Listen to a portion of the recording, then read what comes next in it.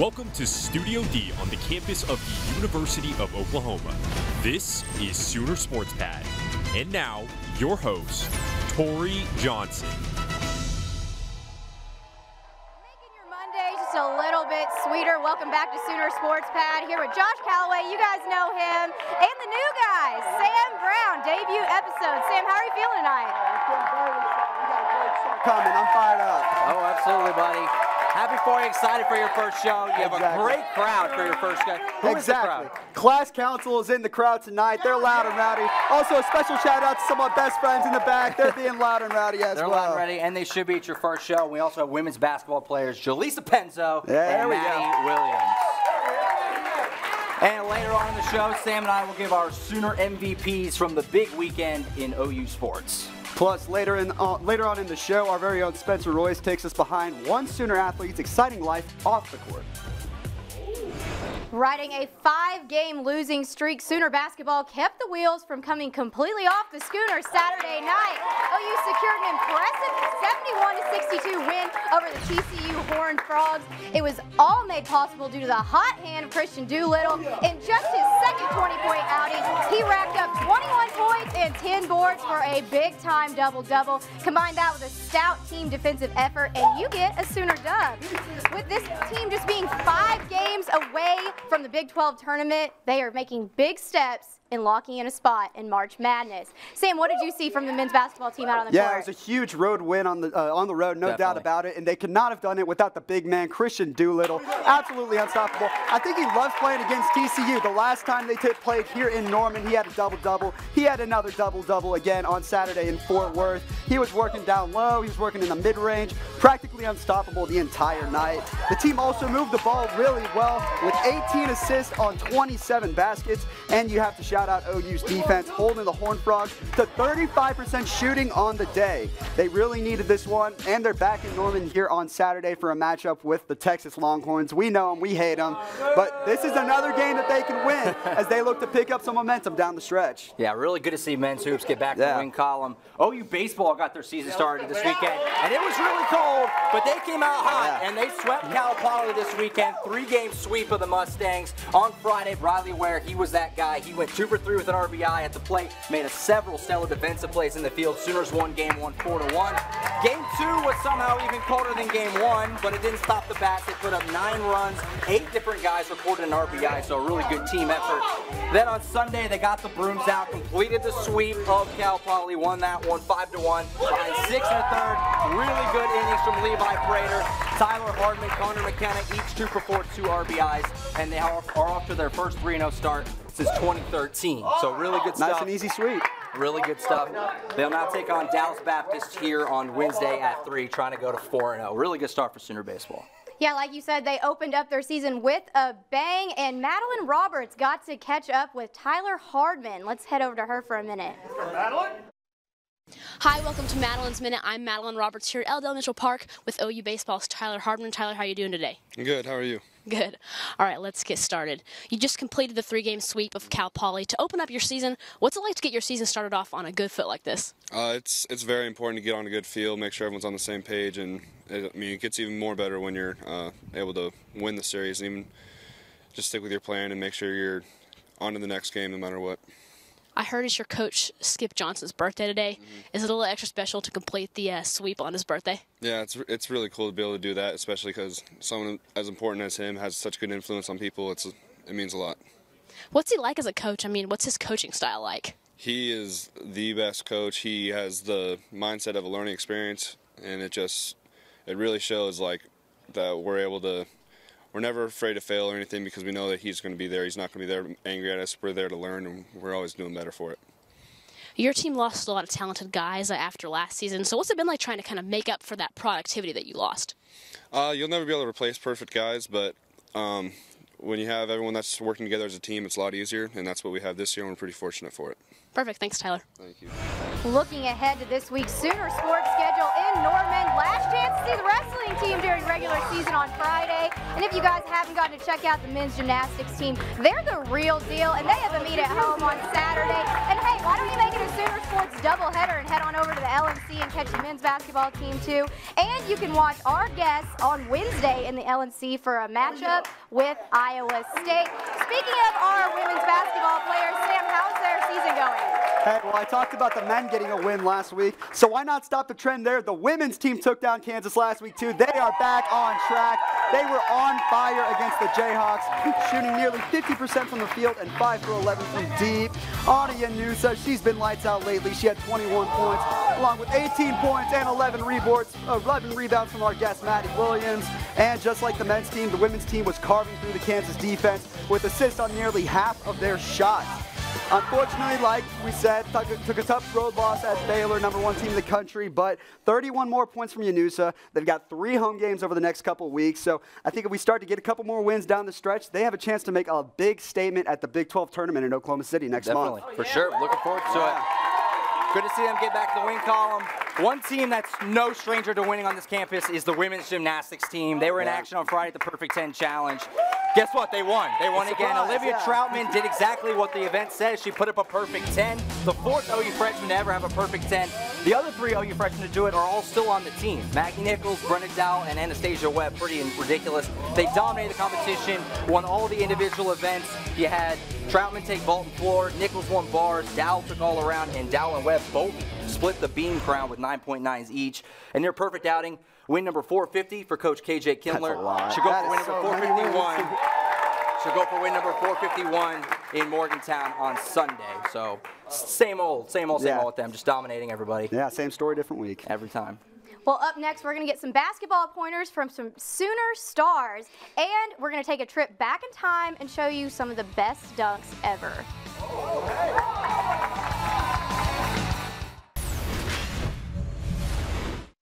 Welcome back. This year, Miles Reynolds joined the OU basketball team, but getting buckets for the Sooners isn't the only interesting thing about him. SportsPad Spencer Royce shows us some of his high-profile friends. Let's take a look. Miles Reynolds, the senior straight out of the Windy City, is not your common D1 athlete.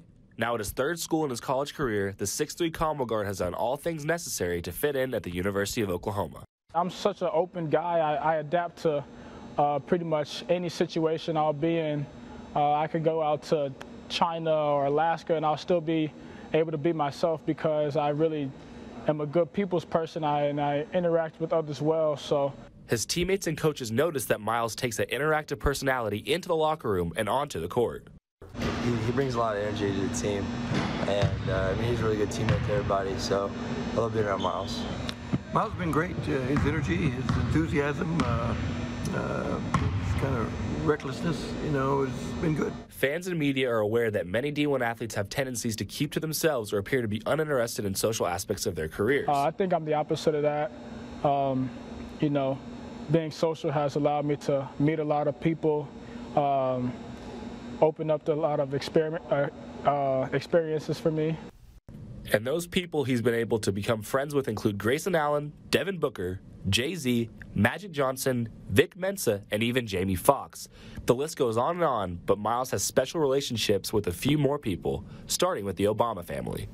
Both of us are very close. The Obamas and my family, the Reynolds, we've, uh, we were raised, I was raised two blocks away from where he raised his family. So um, we went to the same school. I went to the same school as uh, Malia and Sasha. Miles got to be a part of some pretty amazing moments with the Obama family as well. I went out to the Democratic National Convention with the Obamas. I was able to, uh, on election night, I was in the Obama tent when he was elected, elected the first uh, black president of the U.S. If that wasn't enough, he's also pretty tight with Grammy Award winning recording artist Chance the Rapper, I kind of look at as look at him as a big brother to me. Um, growing up, he would always uh, just be there. Um, he was in the same grade as my sister.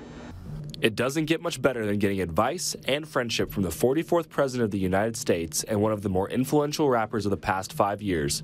It's clear to Miles that they did a lot for him. They helped me grow a lot as a person. Uh, they're always there for me every time I'm able to go back to Chicago. Um, they're always able to meet up with me and just keep giving me advice and uh, just being great friends.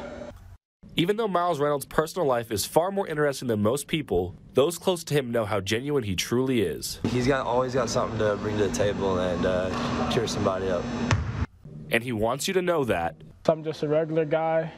Um, I love having fun. I love interacting with other people. I view myself just as equal as anybody else in this world. With the final stretches of the regular season coming up, the Sooners are glad to have one of the more interesting athletes in all of college basketball in Crimson and Cream. Spencer Royce, Sooner Sports Pad. Now it's time to hear from our guests, Jaleesa Pinzo and Maddie Williams. Good to see you guys. Good to see you you guys guys. could come. We got the top. There you go. Good to see you guys. All right. Just to start off, you guys, I talked about it earlier, the big win against Kansas last week. How good was it uh, to, to kind of get back on track, and what was the key to kind of that? um, I think, I mean, there's no secret that it's been kind of tough, but um, the key of it is just playing free. It was just kind of going out there and just playing for each other and just having fun on the court, uh, finding that joy again. And bringing a, um, and bringing a lot of energy and communication and effort. Um, it's just a lot. It's just one thing that we've preached for every game in everything that we do. Yeah, I want to go off that because all year, you know, you guys has been a tough season, but you guys always seem like you're having fun and always playing hard. Is that a big key to you guys? Yeah, definitely. I feel like whenever we're having fun, it brings a lot of energy, and that's what we need as a young team um, to be able to play in the Big 12 is to have a lot of energy. Yeah.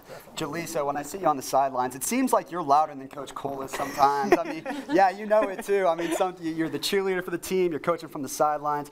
How much pride do you take in that? And Maddie, how does that help you girls when you're out, to, when you're out there on the court? Um, I take a lot of pride in that because I want to do everything that I can to help those on the court.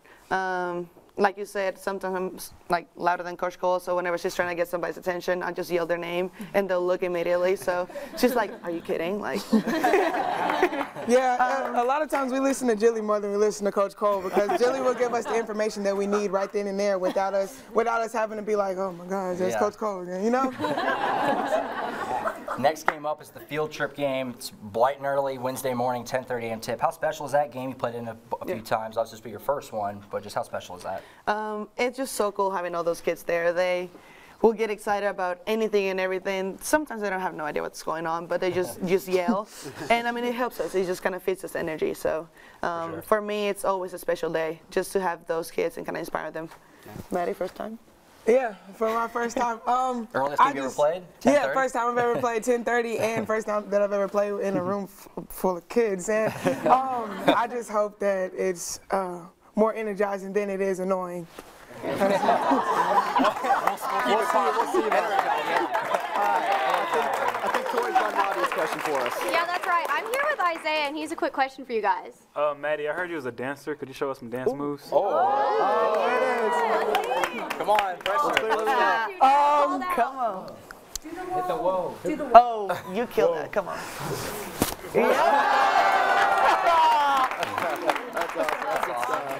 Okay, well, that's all we have for you guys right now, but whenever we come back, our analysts are going to face off. You won't want to miss it.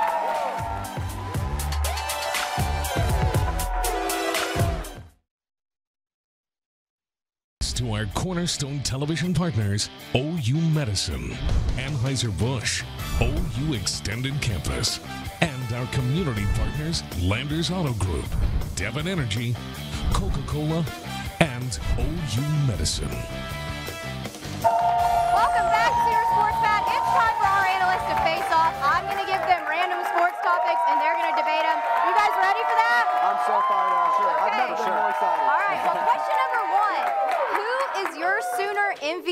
Of the weekend? Go ahead, Sam. Man, there's there are a lot to choose from from this weekend, Yeah. but I'm going to go to the diamond for my pick. I'm going to go with a player who picked up right off where she left off last season. That's Jocelyn Alo.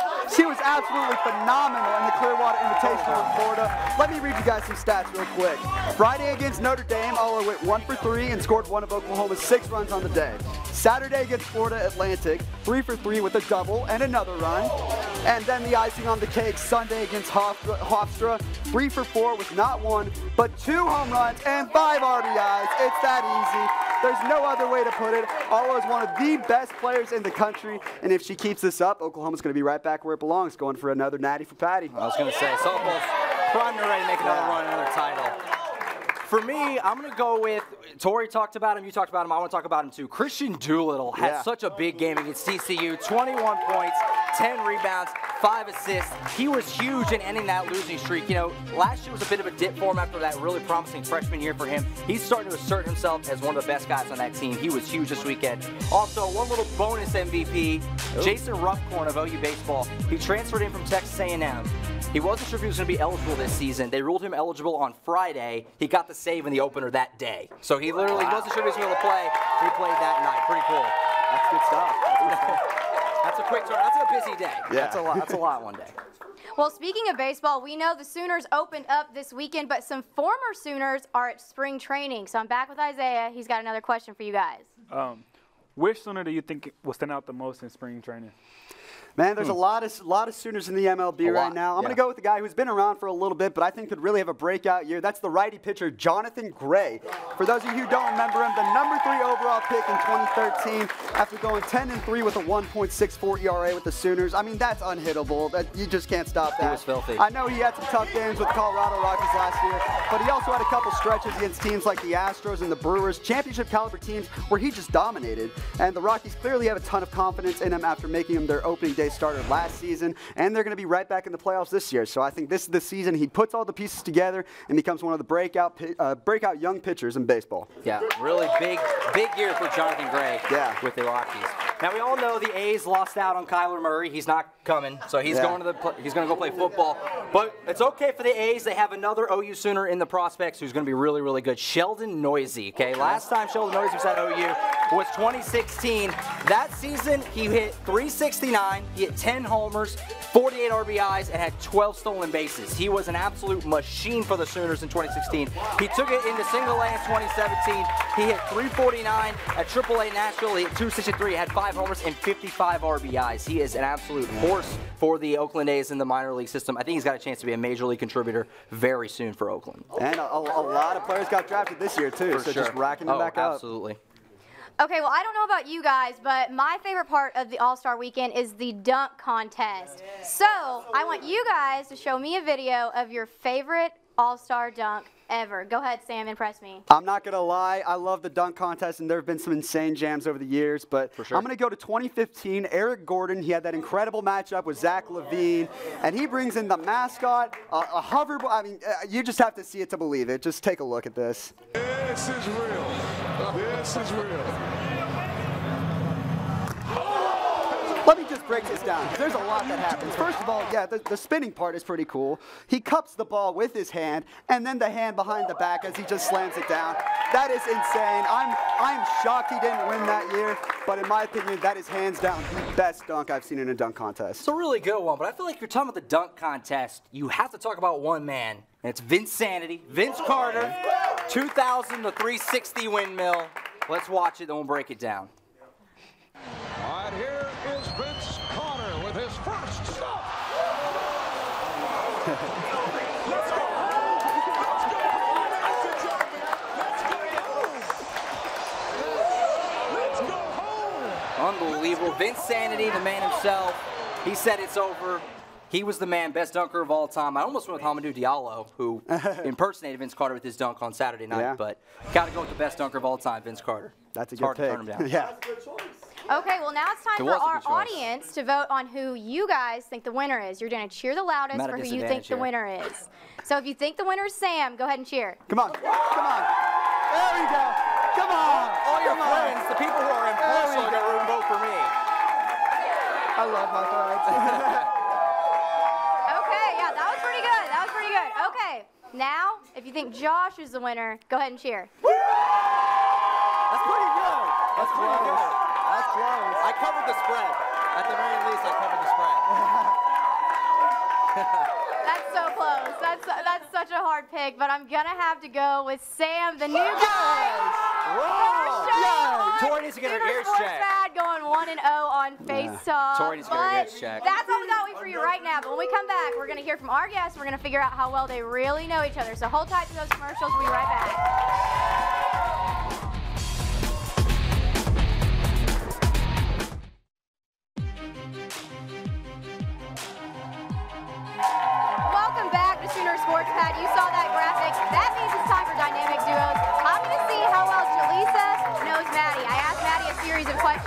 She's going to guess the answers. Are you ready? Yep, I'm ready.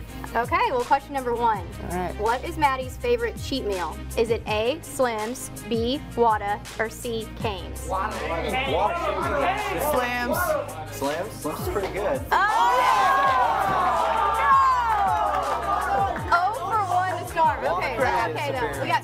two. This will probably be an easy one. What is Maddie's favorite NBA team? Is it A, the Lakers, B, the Heat, C, the Thunder, or D, the Warriors? Thunder. Let's go Thunder. Mm, I'm gonna go with the Warriors. The Warriors.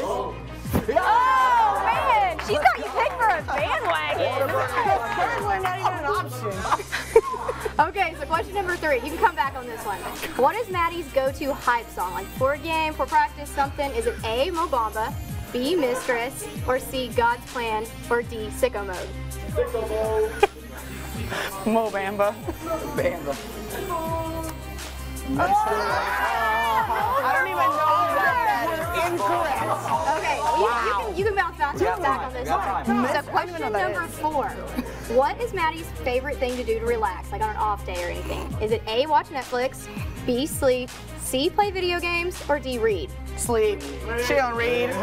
she don't read. You don't read. Okay, last question for you. Question number five. If Maddie could visit one place on Earth, where would she go? A, Hawaii, B, Barbados, C, Colorado, or D, Greece? Ooh, uh, Barbados. Okay, let's see. You guys ending on a good note. That's good. You guys know each other. I believe it. Maybe you guys need to go get fast food together more often or something. But thank you so much for joining. Be sure to tune in next week and check us out on social media.